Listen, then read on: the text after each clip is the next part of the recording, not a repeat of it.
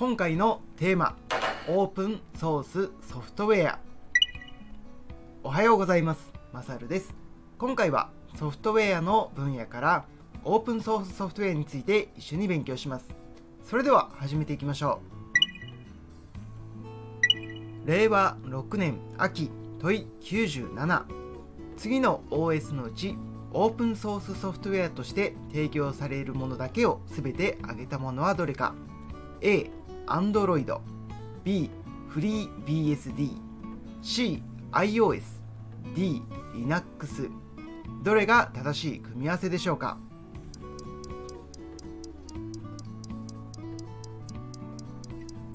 それでは正解の発表です。正解は E の組み合わせ Android フリー BSD Linux が正しい組み合わせです。それでは解説していきます。今回はオープンソースソフトウェアがテーマですがその前に一般的な市販のソフトウェアについてお話ししたいと思います。市販のソフトウェアとは例えばマイクロソフトの Office などです。市販のソフトウェアは購入する必要がありますよね。そして市販のソフトウェアは一般的にソースコードを公開していません。ソースコードとは人が読める形式のコードです。例えばこういうものがソースコードです。なんとなくハローワールドという文字が表示されるのかなと想像することができますよね。一方オープンソースソフトウェアは市販のソフトウェアとは違い一般的には無料もしくは低価格で利用することができます。さらにソースコードを公開しているという特徴があります。ソースコードを公開しているということはそのソースコードを誰でも自由に改変することができます。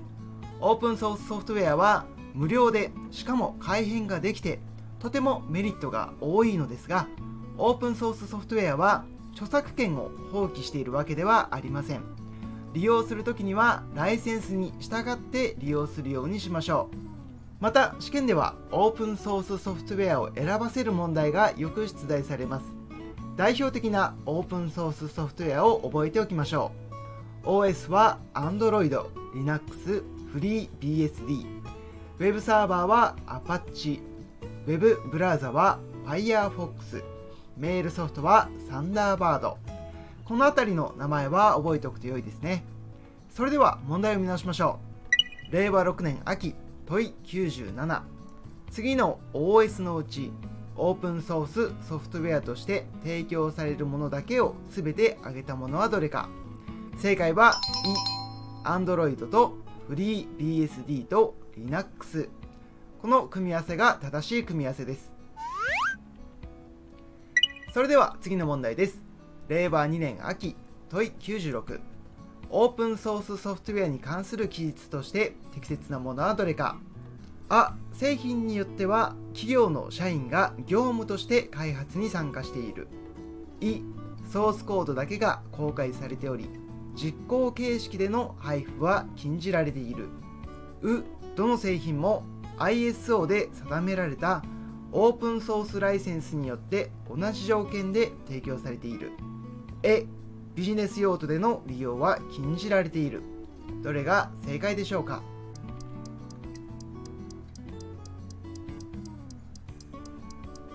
それでは正解の発表です。正解はあ製品によっては企業の社員が業務として開発に参加しています。それでは解説していきます。この問題もオープンソースソフトウェアに関する問題でした。例えば Android というオープンソースソフトウェアの OS があります。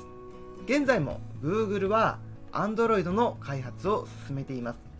よって正解選択肢はあだと判断することができますね。その他間違い選択肢も確認しておきましょう。いの選択肢はソースコードだけが公開されており実行形式での配布は禁じられているとあります。ソースコードとは人間が読めるコードでしたね。逆に言うとソースコードはコンピューターにとっては理解しにくいコードです。コンピューターにとってはバイナリコードの方が理解しやすいコードです。そこでソースコードに対してコンパイルという作業を行ってバイナリーコードを作ります。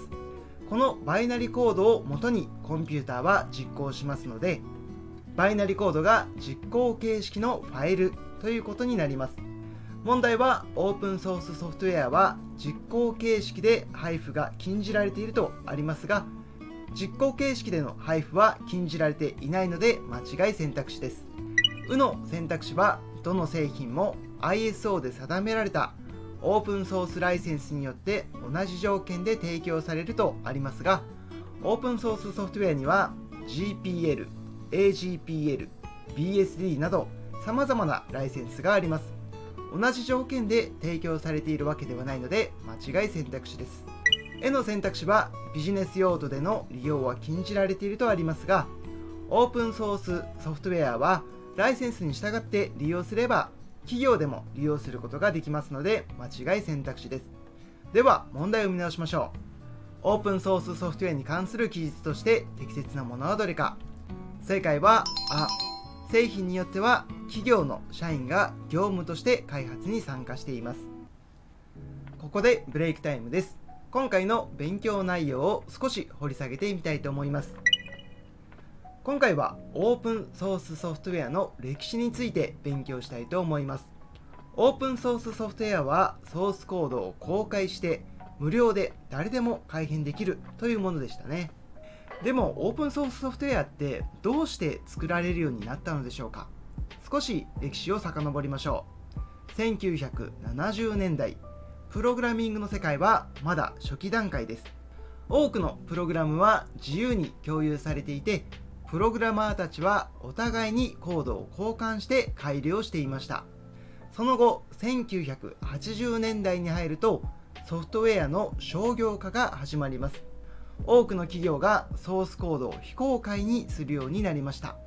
この流れに反発したのがリチャード・ストールマンという人です。彼は1985年にフリーソフトウェア財団を設立しました。1990年代に入りフィンランドの大学生であるリーナス・トーバルズが Linux カーネルを開発すると多くのプログラマーに Linux が支持されオープンソースソフトウェアの認知が高まりました。2000年代に入るとオープンソースソフトウェアは急速に普及し始めました。現在では Google や Microsoft など大手 IT 企業もオープンソースソフトウェアを積極的に活用するようになっています。もし1980年代のソースコード非公開の流れがずっと続いていたら今のような通信技術の発達はなかったかもしれません。良いものはみんなで共有していきましょう。ということがわかる良い話ですよね。それでは最後に復習です。令和6年秋問い97次の OS のうちオープンソースソフトウェアとして提供されるものだけを全て挙げたものはどれか。正解は E Android フリー BSD Linux です。次の問題。令和2年秋問い96オープンソースソフトウェアに関する記述として適切なものはどれか。正解はあ製品によっては企業の社員が業務として開発に参加しています。それでは今回も最後までご視聴いただきありがとうございました。もしよろしければ IT を勉強するお友達に動画をシェアしてもらえると嬉しいです。最後にお知らせです。マサルの勉強部屋が運営するオンラインコミュニティでは一緒に勉強する仲間を募集しています。チャンネルメンバーシップに登録すると Discord で行われるオンラインコミュニティに参加できるようになります。オンラインコミュニティでは勉強だけではなくここに書いているようなさまざまなイベントを用意して皆さんが楽しく成長できる機会を提供しています。皆さんと一緒に勉強できるのを楽しみにしています。